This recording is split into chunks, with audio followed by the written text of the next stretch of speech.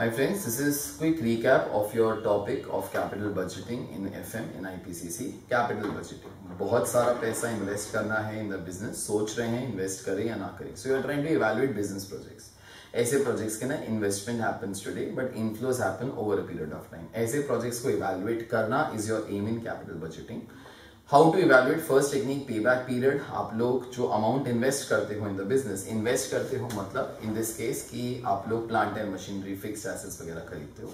वो वाला जो इन्वेस्टमेंट है, वो आपका कभी रिकवर हो रहा है। अगर हर साल का जो इन्फ्लोज है, वो आपका सेम है।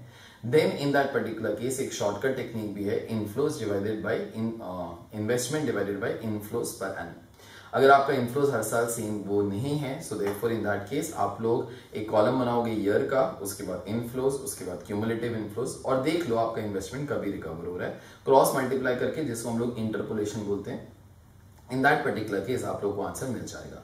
अगर दो प्रोजेक्ट हैं we select a project with lower pay back period अगर एक ही प्रोजेक्ट है we compare the pay back period of that project with target pay back period okay और अगर इस प्रोजेक्ट का टारगेट पे बैक पीरियड से कम पे बैक पीरियड है we accept it else we reject second method ARR method ARR मतलब एवरेज या counting rate of return in that case उसका एक फॉर्मूला होता है average PAT upon average investment into 100 average PAT ठीक है एवरेज इन्वेस्टमेंट कैसे मिलता है? Cost of fix assets plus scrap value divided by 2 plus working capital if any ये आपके first two methods not much known तो आपको इनके डिसएडवांटेजेस भी मालूम होने चाहिए जो पे बैक पीरियड है उसका first disadvantage ignores profitability second ignores time value of money third ignores cash flows after the pay back period फिर ए आर आर मेथड का डिसएडवांटेज डेप्रीसिएशन वगैरह भी कंसिडर होता है जो नहीं होना चाहिए because it is non cash Apart from that, in this case, it gives you percentage returns. In real life, we are interested in absolute returns. Third, ignores time value of money. ठीक है उसके बाद आपको जो next thing है that particular thing is nothing but your NPV methods the chapter वही है NPV method, you know, what do we do?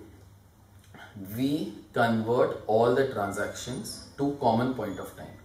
That common point of time can be anything. जब हम लोग ने ये वाला पार्ट स्टार्ट किया था आप लोगों को मैंने अमाउंट का फॉर्मूला बताया था a is equal to P into one plus R is to the power N A को आप लोग क्या बोल देते हो? फ्यूचर वैल्यू पी को क्या बोल देते हो? Present value one plus R is to the power N क्या बन जाएगा? C I factor C I factor के टेबल्स आपके page number forty two point three पर है।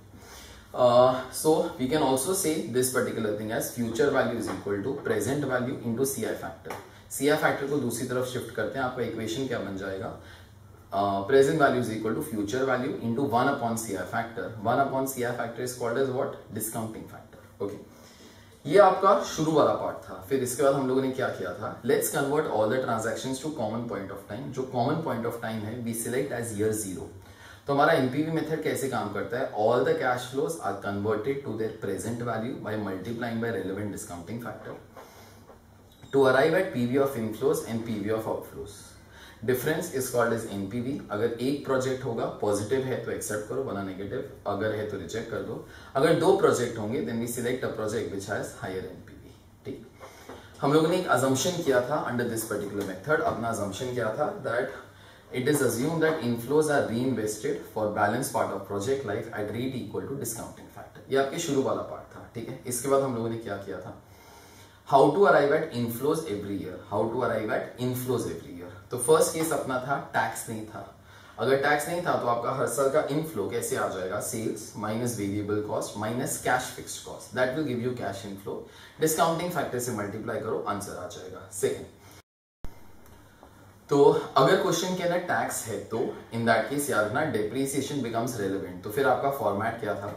ईयर उसके बाद सेल्स उसके बाद वेरिएबल कॉस्ट उसके बाद कैश फिक्स कॉस्ट उसके बाद पीबीटी नहीं, उससे पहले आपको क्या सब्ट्रैक्ट करना है? डेप्रीसिएशन याद रखना. So sales minus variable cost minus cash fix cost minus depreciation will give you PBT PBT के बाद टैक्स का कॉलम आएगा कि नहीं? हम लोगों ने चार केसेस किए थे फ़र्स्ट केस अगर पीबीटी कभी पॉजिटिव है मतलब प्रॉफिट है, फिर टैक्स का कॉलम तुम लोग को नहीं चाहिए. अगर कभी लॉस है कंपनी न्यू है तो चाहिए, क्योंकि आपको लॉस को कैरी फॉरवर्ड करना पड़ेगा। अगर लॉस है, कोई और बिज़नेस है, वहाँ पे भी लॉस है तो भी लॉस लॉस के अगेंस्ट सेट ऑफ़ तो नहीं हो सकता तो आपको कैरी फॉरवर्ड करना पड़ेगा टैक्स का कॉलम चाहिए। लास्टली अगर इधर लॉस है, कोई और बिज़नेस है, लेकिन इधर प्रॉफिट है, फिर आपको टैक्स का कॉलम नहीं चाहिए। जो भी हो टैक्स के कॉलम के बाद तुम्हारा पैट वाला कॉलम आ जाएगा. And lastly cash in flow will be nothing but PAT plus depreciation discounting factor से मल्टीप्लाई करो, आप लोग को प्रेजेंट वैल्यू आ जाएगा. ठीक है? ये आपका मेथड वन था मेथड टू मेथड टू के ना हम लोगों ने हर चीज़ पोस्ट टैक्स बात किया था. एग्ज़ाम्पल अगर टैक्स रेट थर्टी परसेंट है तो आपको पोस्ट टैक्स सेल्स कैसे मिल जाता है? Sales into seventy percent seventy percent कैसे आता है? सौ रुपए का इनफ्लो थर्टी रुपीज़ का आउटफ्लो उसके बाद post tax variable cost post tax variable cost कैसे आ जाएगा? Variable cost into seventy percent seventy percent कैसे आता है?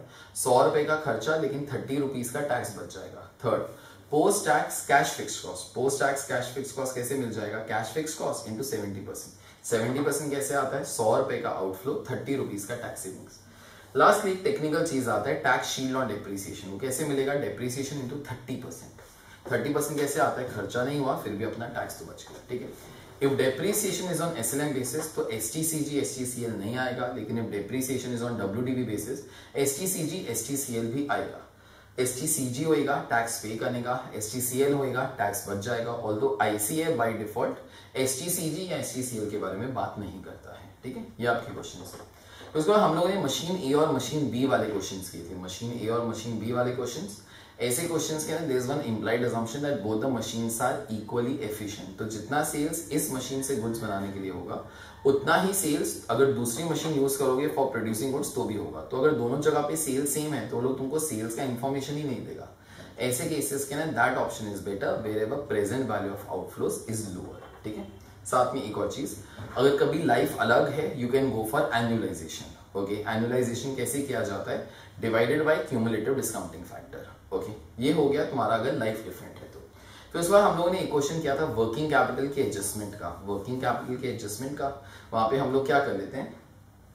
अगर कभी वर्किंग कैपिटल सम के अंदर आया invest in working capital on the first day and recover impact on the last day ठीक है? ये वाला चीज़ हो गया। फिर उसके बाद एक क्वेश्चन मैंने वो बोला था सिलेबस का पार्ट तो नहीं है एक्स्ट्रा के तौर पे किया था एंड दैट वाज कि अगर सपोज़ आपका जो लाइफ है infinite then you will require cumulative discounting factor up to infinity. Cumulative discounting factor up to infinity कैसे मिलेगा?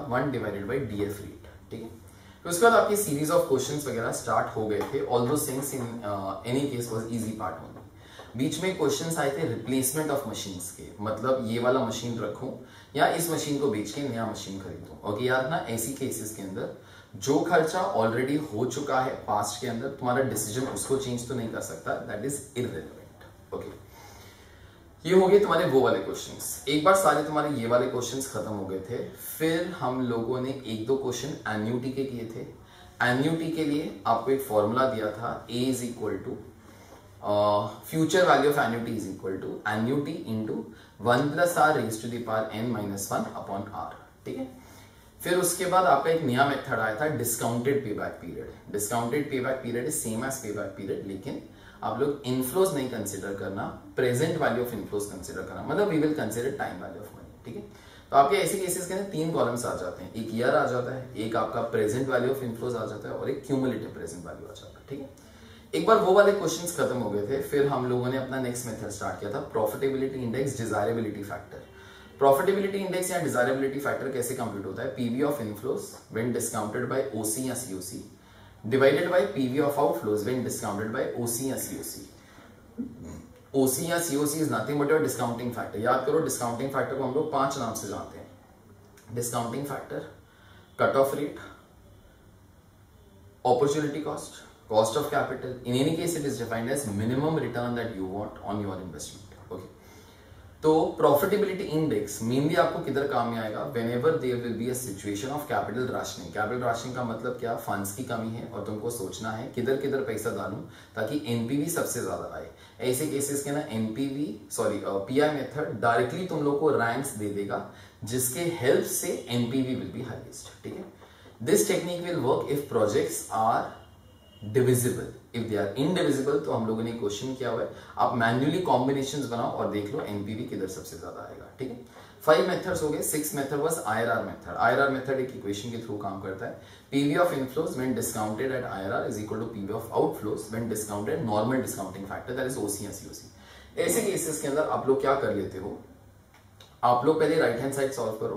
और फिर इनफ्लोज वाला जो है, उसको एक ऐसे डिस्काउंटिंग फैक्टर से मल्टीप्लाई करो ताकि answer is equal to right hand side वो जो रेट होगा that be called as IRR तो आईआरआर के अंदर बस इतना जरा याद रखना only interpolation difference of three percent is allowed उससे ज़्यादा I say will not allowed IRR method के एक इम्प्लाइड अजम्पशन होता है that inflows are reinvested at rate equal to IRR itself तो अगर कोई company is going to be reinvesting within the business IRR is a better method if any company will be investing its profits outside the business then npv method is a better method usually at your level at ipcc we always will be seeing this particular thing that npv method is better ठीक है last method क्या था M I R R method modified internal rate of return modified internal rate of return is basically I R R method का technique but with assumption of NPV method आप लोग सारे inflows को री invest कर देते हो at rate equal to normal discounting factor to produce one single inflow at the end of your last year और फिर उसके बाद आप अपना आईआरआर का टेक्निक यूज़ करके अपना एमआईआरआर निकाल दो okay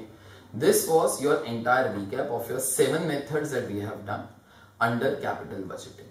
Okay, I hope you had quick revision of that particular topic. It's a big topic and an important topic will also be carried forward by us in CA final. Okay, thank you.